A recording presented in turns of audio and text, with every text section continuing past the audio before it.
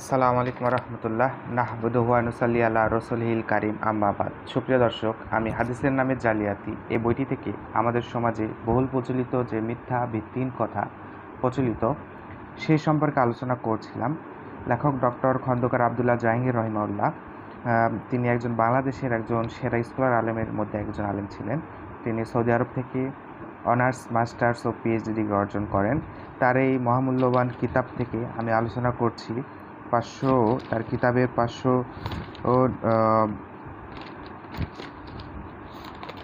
পাঁচশো সাতানব্বই, পাঁচশো আটানব্বই, নিরানব্বই পৃষ্ঠা থেকে আলোচনা করছি আমাদের সমাজে বহুল প্রচলিত একটি কথা যে, কবর জিয়ারতের সময় সুরাই ইয়াসিন পাঠ করা। এ সম্পর্কে একটি জাল হাদিস রয়েছে যে, যদি কেউ তার পিতামাতা বা উভয় একজনের কবরে শুক্রবারে জিয়ারত করে এবং তার কাছে কবরের পাশে সুরে ইয়াসিন পাঠ করে, তবে তাকে ক্ষমা করা হবে।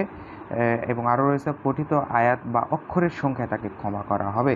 এটি একটি জাল হাদিস। লেখক রেফারেন্স টেনেছেন ইবনুল আদির কিতাব আল কামিল পঞ্চম খণ্ড একশো একান্ন পৃষ্ঠা, ইবনুল জাউজির কিতাব আল মাউজুয়ার দ্বিতীয় খণ্ড চারশো তেরো পৃষ্ঠা, ইমাম জহাবির মিজানুল ইতিদাল, পঞ্চম খণ্ড একশো ছত্রিশ পৃষ্ঠায় আলোচনা করেছেন যে এই রাবি সম্পর্কে এবং ইমাম সুতির কিতাব আল্লাহ আলী দ্বিতীয় খণ্ড চারশো চল্লিশ পৃষ্ঠা, ইবনু আর্রাখ তানজির, দ্বিতীয় খণ্ড তিনশো তিয়াত্তর পৃষ্ঠা এই রাবি সম্পর্কে আলোচনা করেছেন।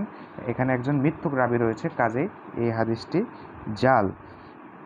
এবং আরও রয়েছে যে কবর জিয়ারতের সময় সুরাই ক্লাস পাঠ করা সম্পর্কে পাওয়া যায় যে যদি কেউ কোনো গোরস্থানের নিকট গমন করে, করার সময় একুশবার সুরাই ক্লাস পাঠ করে, তবে তার সওয়াব মৃতগণকে দান করে, তবে মৃতগণের সংখ্যার সম পরিমাণ সব তাকে প্রদান করা হয়।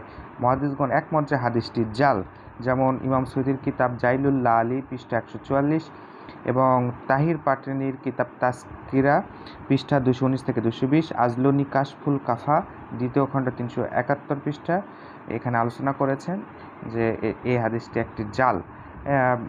লেখক বলছেন যে কবর পারে গিয়ে আসসালামু আলাইকুম দ্বারা কাউমিন মুমিনিন বা অনুরূপ শব্দে কবরবাসীকে সালাম দেওয়া এবং তার জন্য কবরবাসীগণের জন্য দোয়া করা হাদিসে এসেছে। কিন্তু যে কবরবাসীর জন্য গিয়ে কোরআন পাঠ করতে হবে, এই সুরা বা এই বিশেষ পদ্ধতি, এগুলো কোনো হাদিস গ্রন্থে নেই।